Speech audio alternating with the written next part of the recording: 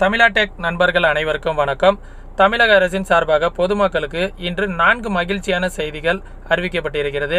இந்த நான்கு மகிழ்ச்சியான செய்திகளை பற்றி தான் இன்னைக்கு வீடியோவில் வந்து நம்ம தெளிவாக பார்க்க போகிறோம் அதெல்லாம் பார்க்கறதுக்கு முன்னாடி நம்ம சேனலுக்கு யாராவது புது நண்பர்கள் வந்திருந்தீங்கன்னா நம்ம சேனலை வந்து சப்ஸ்கிரைப் பண்ணிங்க. கூடவே அந்த பெல் ஐக்கானையும் ப்ரெஸ் பண்ணிங்க. அப்போ தான் நம்ம டெய்லி போஸ்ட் பண்ணக்கூடிய இது போன்ற வீடியோக்கள் டெய்லி உங்களுக்கு நோட்டிஃபிகேஷனாக வந்துகிட்டே இருக்கும். சரிங்களா? வாங்க வீடியோக்குள்ளார போகலாம். நியூஸ் கொரோனாவை விரட்ட ரஷ்யாவின் தடுப்பூசி ரெடி மே ஒன்றாம் தேதி இந்தியாவுக்கு வருகிறது.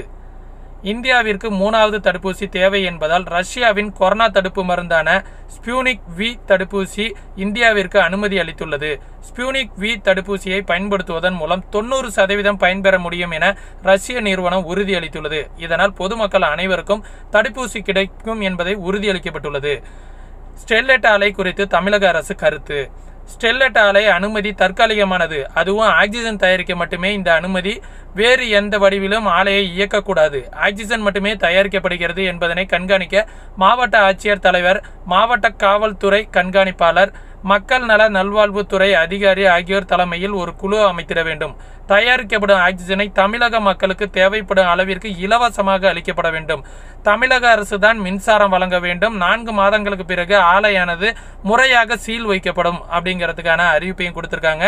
மூன்றாவது முக்கியமான செய்தி. தமிழகம் உட்பட ஐந்து மாநில தேர்தல் வெற்றி கொண்டாட்டத்திற்கு தேர்தல் ஆணையம் தடை விதித்துள்ளது. கொரோனா பரவ தேர்தல் ஆணையமே காரணம் என உயர்நீதிமன்றம் குற்றஞ்சாட்டிய நிலையில் தற்போது தேர்தல் ஆணையம் தேர்தல் வெற்றியை கொண்டாடுவதற்கு தடை விதித்துள்ளது.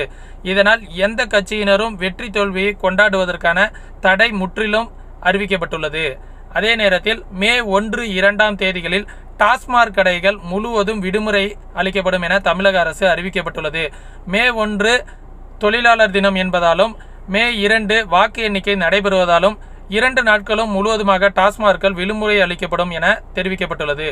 இது போன்ற பயனுள்ள தகவல்களை உடனுக்குடன் தெரிந்து கொள்வதற்காக நமது சேனலை தொடர்ந்து இணைந்திருங்கள். இது போன்ற வீடியோக்களை மற்றவர்களுக்கும் ஷேர் செய்யுங்கள். நன்றி வணக்கம்.